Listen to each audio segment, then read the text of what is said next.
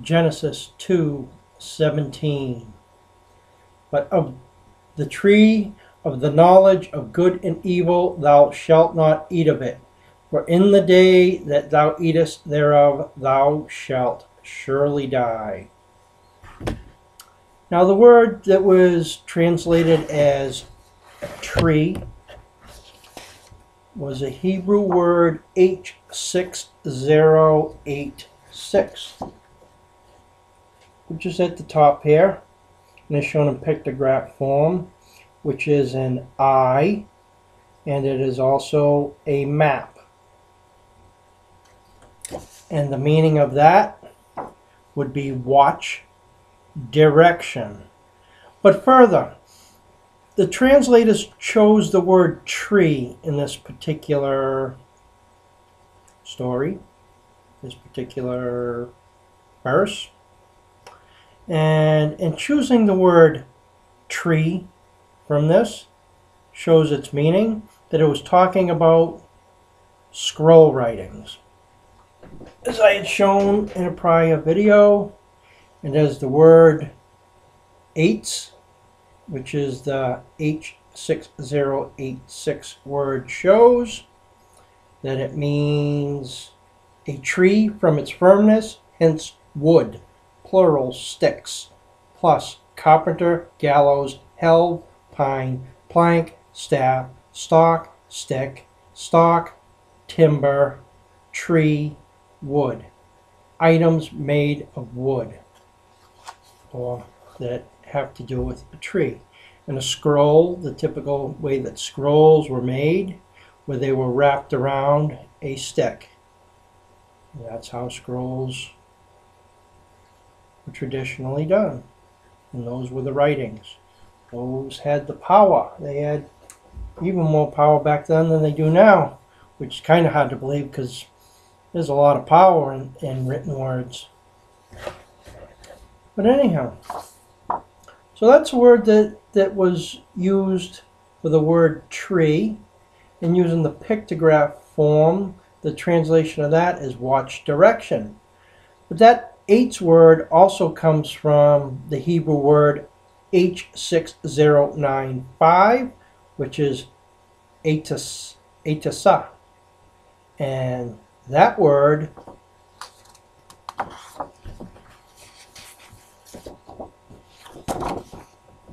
is the same I plus the map plus the spirit. So that would be translated as watch direction spirit a watch direction to reveal. And that's the thing about the translations of the ancient language is they were in pictograph form. And by being in pictograph form means they're all nouns. Or if a verb is chosen to be used, the verb has to be associated with the picture. So it is all about the character of the individual pictures, and that's how multiple translations can come out of one picture. And that's not even bringing up the fact of what is known as a vowel pointer. Now the vowel pointers that I've used with the pictographs, I use colors in order to change what vowel is being represented. And these videos, I haven't gone to that that far into it. I didn't feel it was necessary or important. So if we continue on, we go to the next word, which is knowledge.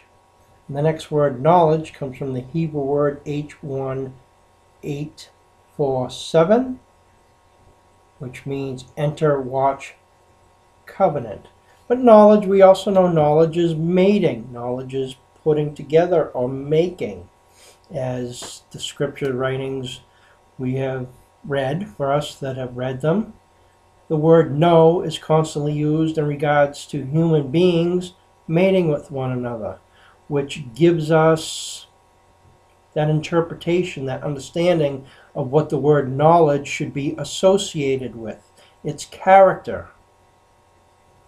So, the tree of knowledge, which would be the writings, scroll writings of mating, good and evil.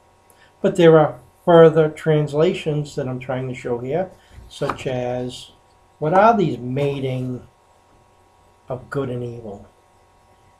Well,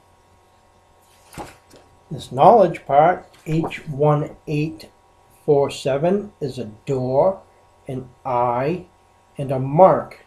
Mark is known as a covenant, or complete, or mark. There's many different meanings to it. The translation I chose for that word was enter, watch, covenant. But that word also comes from another word, which is Hebrew word H3045. That word right here is an eye, a door, and an arm with a hand.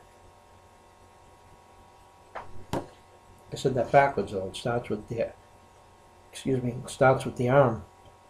The arm and hand, the door, and the eye, which would translate as make, enter, watch, which seems like a forceful action that's occurring at that point in time of that knowledge. So there's the watch direction or watch direction spirit. There's the enter the watch covenant or make enter watch, which is a forceful action. And remember, this is what's being warned about not to participate in. So if we go on to the next word that I have translated here, which I seem in, which I, I feel is important in that verse, which is the word good. And the word good was the Hebrew word H2896. And in that word, the pictograph form is a basket or a city, which is a grouping or a group. And then there's the Wa symbol in the middle, which is a typically seen as a stick or a dead piece of wood and means secure because it's a tent peg. It has other meanings such as being subjective or subjected.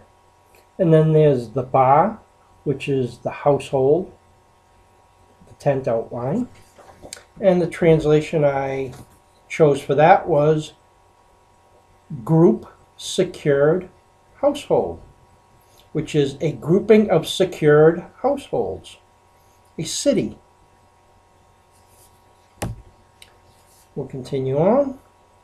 The word evil. The word evil was translated from the Hebrew word H7451 and is Ra, Ra-A, Ra, Ra-A, Ha, which is two different two different ones there. Ra-A Ra-A-Ha,